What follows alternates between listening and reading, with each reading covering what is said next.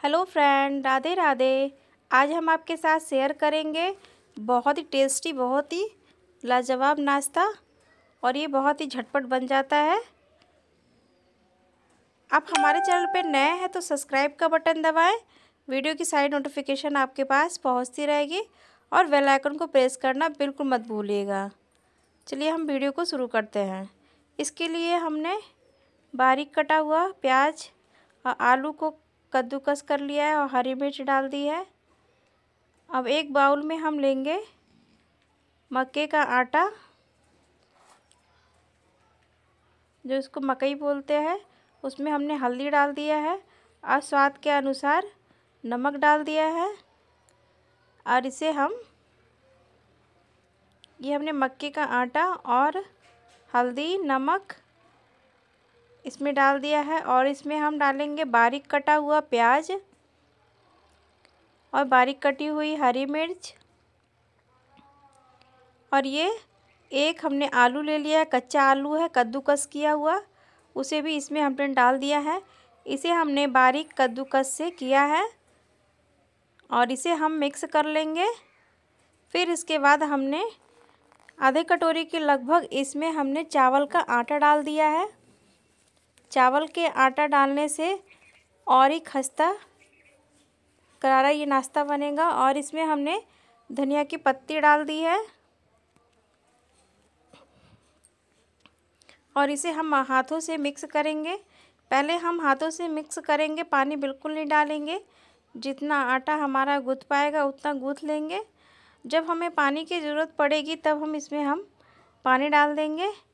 अब इसमें हम हल्का हल्का करके पानी डालेंगे और एक तो सख्त डो की तरह इसे हम तैयार कर लेंगे। थोड़ा सा पानी और डालेंगे, क्योंकि चावल का आटा पानी सोखता है। इस तरह से हमने इस डो को तैयार कर लिया है। एक हम छोटी सी लोई इसे हाथों में लेकर गोल गोल करेंगे। अब इसे हम गोल गोल करने के बाद इसे हम एक इस तरह से गोल लोई की तरह कर देंगे, फिर इसे हल्का सा चपटा कर देंगे। इसे हमें टिक्की का शेप देना है। इस तरह से आप हाथों से बहुत ही सुंदर शेप बनाएँ।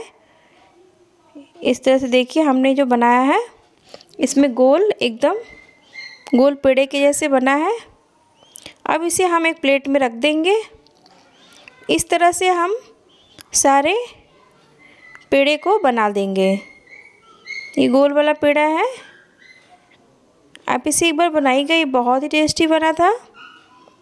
इस तरह से हमने सारी लोइयों को गोल गोल आकार में तैयार कर लिया है टिक्की के जैसे। अब इसे हम, आप हमारे चैनल पर नए हैं तो सब्सक्राइब का बटन दबाएँ। वीडियो की सारी नोटिफिकेशन आपके पास पहुँचती रहेगी और बेल आइकन को प्रेस करना बिल्कुल मत भूलिएगा। इस तरह से हम एक एक करके फ्राई पैन में डालते जाएँगे।